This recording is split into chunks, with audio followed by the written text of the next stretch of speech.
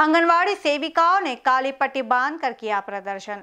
नागपुर ग्रामीण तहसील के अंतर्गत आने वाले आंगनवाड़ी सेविकाओं ने अपनी प्रलंबित मांगों को लेकर सभी महिला कर्मचारियों ने काली पट्टी बांधकर प्रदर्शन किया। नागपुर पंचायत समिति खंड विकास अधिकारी किरण कोवे के साथ मुलाकात लेकर अपनी प्रलंबित मांगों के निवेदन दिया।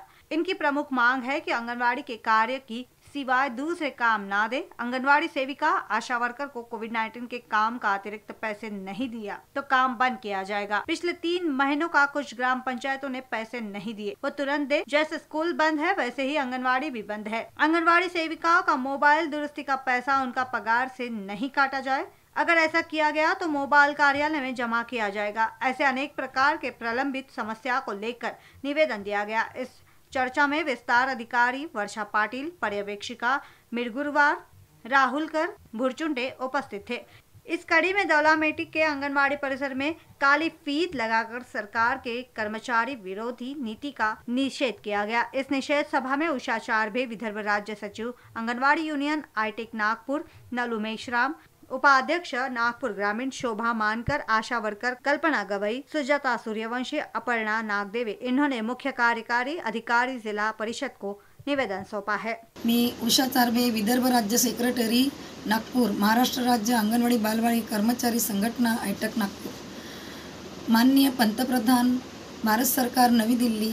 माननीय वित्तमंत्री भारत सरकार नवी दिल्ली. माननीय मुख्यमंत्री महाराष्ट्र राज्य मुंबई. माननीय वित्तमंत्री महाराष्ट्र राज्य मुंबई. विषय योजना कर्मचाऱ्यांच्या प्रलंबित मागण्या निकालीत काढण्याबाबत. मार्फत मान्य जिल्हाधिकारी नागपूर व माननीय मुख्य कार्यकारी अधिकारी नागपूर. वरील विषयाच्या अनुषंगाने केंद्र व राज्य सरकारच्या आस्थापनामुळे योजना कर्मचाऱ्यांच्या प्रलंबित मागण्या अनेक आहेत.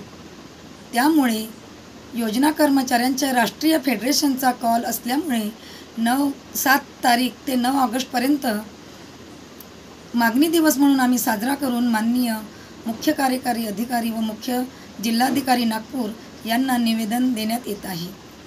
इन बीस न्यूज के लिए वाड़ी से सुनील शेट्टी के साथ अभिषेक पानसी की रिपोर्ट।